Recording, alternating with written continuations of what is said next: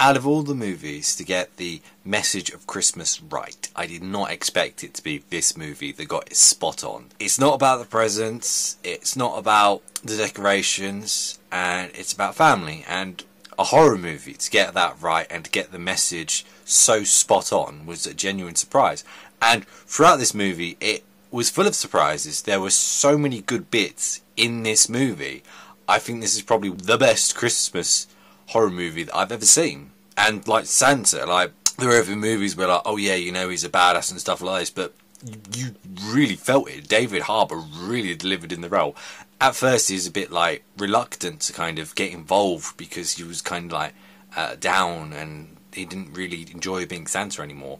And it was kind of like his character progression all the way through, and him kind of regaining himself and his faith in the season. Which again, it was absolutely fantastic to watch. Uh, the villain was very good. I know he's been in a few films uh, recently. I watched him in The Menu literally last week. He was superb as well. The whole family, you know, they're all trying to leech off each other. They're trying to get the money and stuff like that.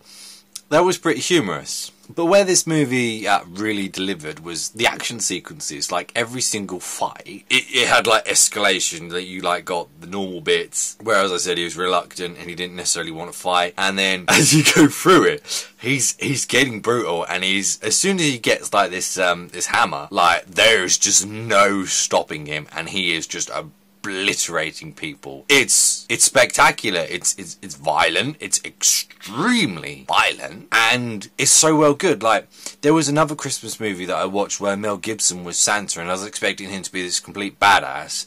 And he struggled with like one guy with a gun, and you had David Harbour in this, and there's plenty of guys with guns. They're shooting at him and stuff like that, and he's not taking the bullets. Like this Santa Claus is, he has got magic, but it's from his sack and like he has like other stuff as well. But if you shoot him, he is hurt, and like he gets stabbed early on, and he's like bleeding everywhere, and he has to sew himself up, and like you know, it's it's very like oh my word, like moments where you just don't expect it. It's it's truly fantastic. I cannot recommend this movie enough. Like it is a superb Christmas movie. If you're feeling to go watch it, do it. It's it's a must see. It's amazing.